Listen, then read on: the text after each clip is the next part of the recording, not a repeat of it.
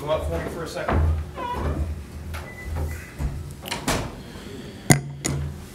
Well, I think there's some lessons to be learned today. Um, I think when you're not uh, mentally ready to, to play a game, I don't really care who you're playing, and that may be hard for some people to understand the concept of competition.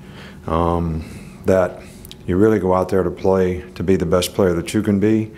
Uh, you don't look for some external factor like who you're playing against right, to motivate you um, because it's really not about winning or losing.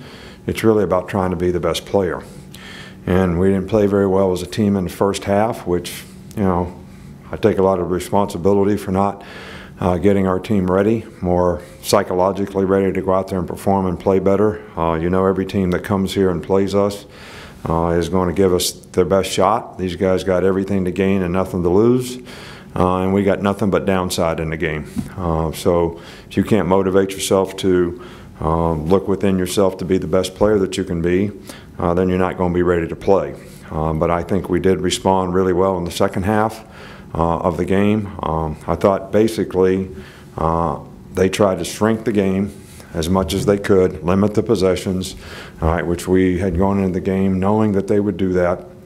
And we told the offense, you got to take advantage of every opportunity that you have. Well, in the first half, we, you know, turned the ball over. We went three and out once. Uh, we didn't score a touchdown in the red zone.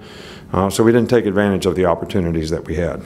I think in the second half, uh, we did a much better job on defense. We made some halftime adjustments to a couple of the formations that they were in.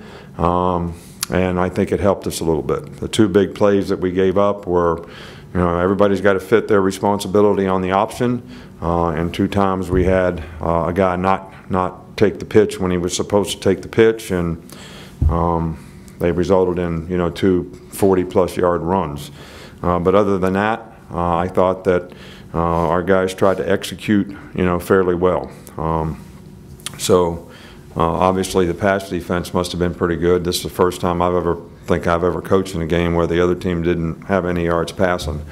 Um, so, um, but anyway, I think there's lessons to be learned uh, for our team. Hopefully, they'll learn and grow from this.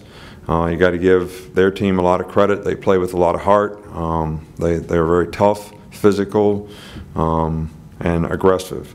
I don't think there's any excuse for guys getting um, personal foul penalties at any point in the game uh, and getting engaged with things that um, are not beneficial to our team. And when you get one of those, you affect everybody on the team. Um, so it's not just about you. But uh, from an injury standpoint, Alex Leatherwood has a twisted ankle. We think he'll be okay.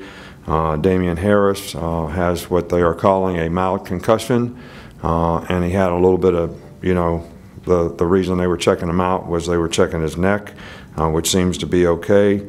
Uh, and Deionte Thompson has a bruised knee, uh, which doesn't seem to be a significant injury. Probably could have put him back in the game, but just, you know, didn't do it. Coach, we'll start on the right with Charlie. Just what did you think of Tua's performance today? Um, well, I thought he played pretty well. I think it was 18 for 22, and you know, for a guy that most people thought shouldn't play in a game, I thought he responded really well by taking the challenge and going out there and doing what was best for his team. And, you know, all of our fans, you know, they come to the game to see him play. So that, that, I think that's fair that he goes out and competes like every other player on our team. And um, he, he, I thought he did a good job in the game. We got a little slow start on offense.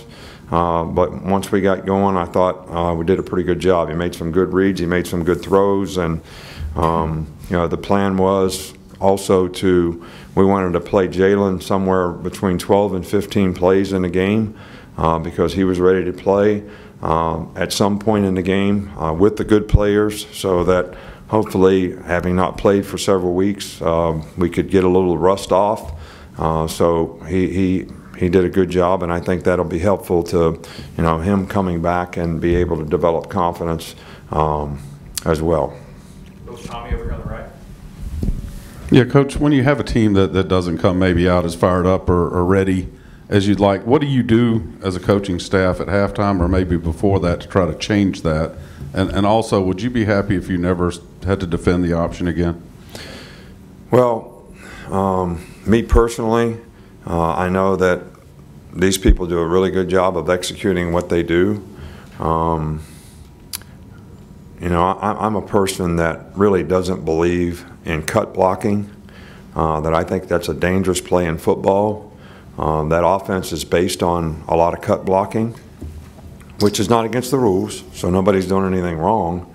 Uh, but I certainly wish that we would change some of the rules that we have uh, for player safety. Um, but um, th- this this is so unique to have to play this in this day and age. It has very little carryover with anything that you do uh, prior to the game. I don't have very little carryover beyond this game.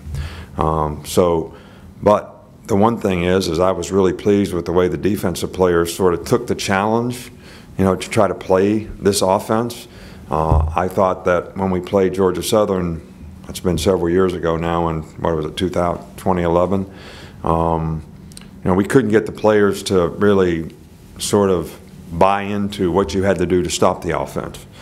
Uh, I, I thought that our players tried to do that. Um, and other than a couple mistakes that we made, which when you make one against that, you're going to give up plays, um, I thought they did a pretty good job. But if we have them on the schedule, I guess we have to do it. I'm not going to quit over it, I can promise you that. Go back in, stay with the left with right. left. What is it like playing a team that is that one-dimensional, and also what, what makes the run fit so difficult with the triple option? Well, because the point of attack moves, the ball moves, the point of attack moves throughout the play. Does a dive guy get it? Does the quarterback keep it? Is there a pitch guy? Then there's multiple blocking schemes, whether it's trap option, lead option, zone option, load option, which affects the run fit for the perimeter as well as um, the inside-out players. So it's just completely different than what you normally see and what players are accustomed to playing. Stay over here with uh, Jeff Spiegel. Nick, when you come into a situation like that at halftime and, and um, you're disappointed with the team's play in the first half, uh, who does most of the challenging there in the locker room? You, the team leaders, or and what was that like today? Uh, you know, I, I think, you know, the leadership stepped up a little bit. Um, we go through and talk about the adjustments that we need to make as a coaching staff, which I thought we made some good ones.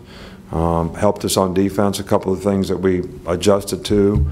Um, and, you know, I talked to the team about, you know, what, what, what, what are you really made of?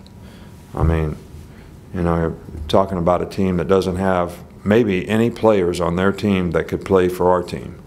And yet, we're not, we're not beating them. We're not dominating them at the line of scrimmage. We're not dominating. We're not finishing. We're not playing to our standard. We're not given the kind of um, discipline and execution that we need to be able to execute regardless of what they do on offense, defense, or special teams. So, you know, everybody's got to kind of check their hole card uh, deep down inside and see what you want to accomplish and what you want to do. And um, I thought the players responded pretty well.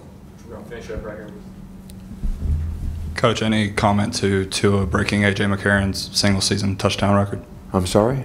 Any comment of Tua breaking AJ McCarron's single season touchdown record? Um, you know, I wasn't informed of that, so um, I guess I have to react to it right now. Um, look, A.J. McCarron was a fantastic player for us here and a three-year starter and um, won a couple championships, I think. And um, so his accomplishments will always be appreciated, but uh, it's always nice to see, you know, our players who um, are performing well get recognized um, for what they do. And, you know, Tua's had a really good year, and um, we're excited for him that um, he's, you know, set a record or broke a record or whatever. But I'm sure the first thing he would tell you that if it wasn't for his teammates, he wouldn't have the opportunity to do that. So I think it's something that, you know, we all share, uh, that the whole offense should share in terms of um, the quality job the offensive line does and the receivers and uh, everybody involved. Thanks. Thank you.